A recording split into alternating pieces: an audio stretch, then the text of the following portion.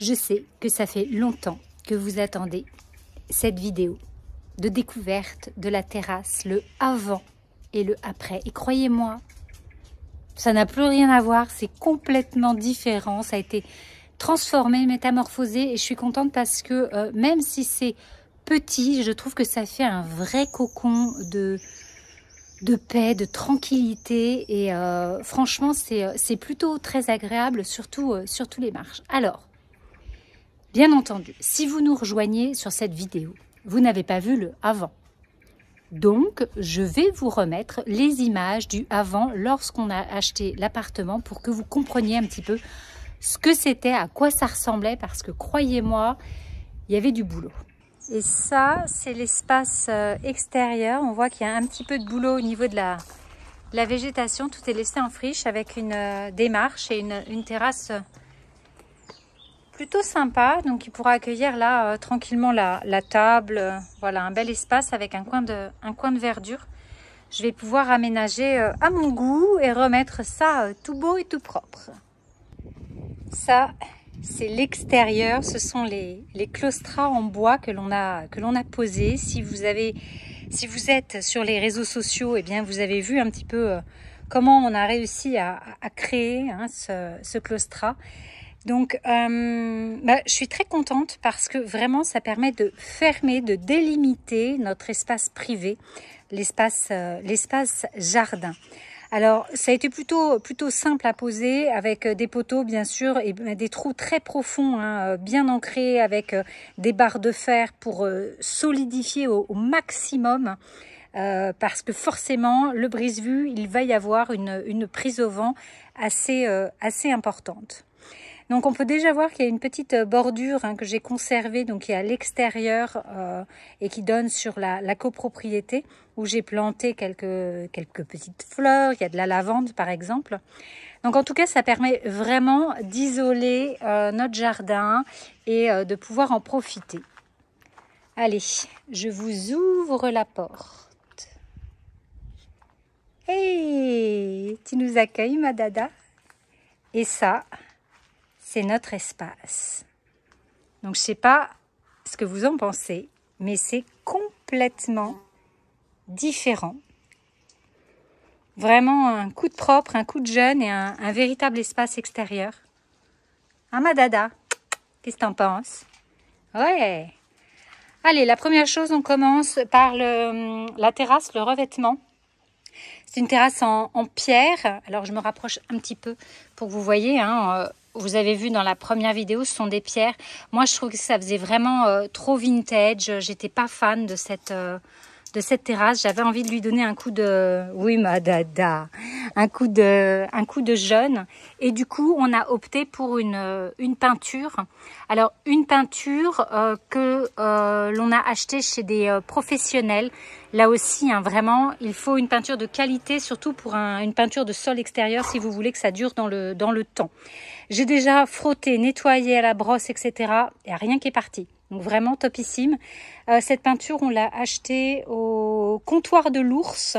Euh, nous, on en a euh, un sur, sur Royan. Donc je vous invite à aller voir les, produits. Hum, ensuite, on va commencer par quel côté? Allez, on y va par celui-là, le plus, le plus petit. Donc ça, c'est la bande de terre hein, que j'avais et j'ai décidé de conserver.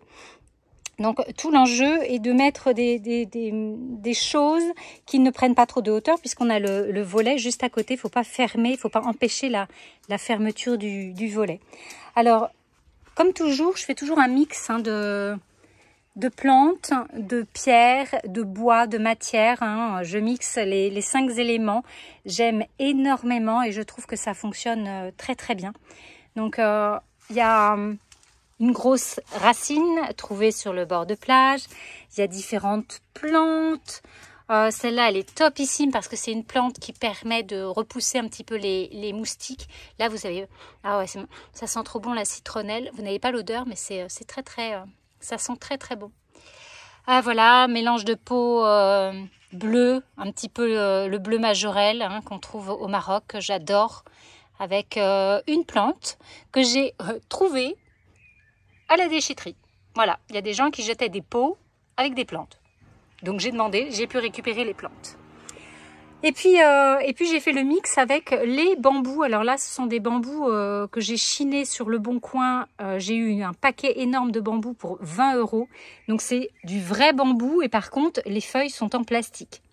Je suis pas super fan du plastique, mais je trouve que là, par contre, ça fonctionne. Et vous allez voir plus loin, ça m'a permis d'isoler vraiment la, la terrasse. Et là, ça me permet d'avoir de la verticalité voilà, sur cette partie-là. Et je trouve que c'est important euh, ça permet de jouer sur les, niveaux et au moins je suis sûre que là, ça va pas pousser, prendre de l'espace et, euh, gêner au niveau de la fermeture du volet. Voilà, pendant que Prada, oh, c'est trop bon de profiter du soleil. Et de l'autre côté, regardez ça. J'adore, j'adore, j'adore, je suis fan. J'aime trop et j'ai trop hâte de voir euh, quand ça aura poussé alors, il y a beaucoup euh, de plantes différents. Il y a, vraiment euh, un mix de, plantes. Celles-là, c'est les dernières que j'ai achetées, que j'ai pas encore plantées. Va falloir que je fasse le, pot. Il y a de la lavande. Et ça, c'est un, une jardinière hein, que j'emmène toujours avec moi constamment. Ça, c'est un, un, plant d'arôme que j'ai récupéré du précédent jardin. Enfin, voilà, j'ai vraiment fait un, mix. En plus, ça permet de faire un, brise-vue. Ça, vous l'aurez reconnu, c'est un érable. Et vous allez voir que j'en ai plein puisque j'en ai récupéré aussi sur le bon coin. Voilà. Alors, vous voyez, il y a encore du bois hein, derrière. Hein, et il y en a un petit peu partout, du bois. Ça, c'est un autre érable.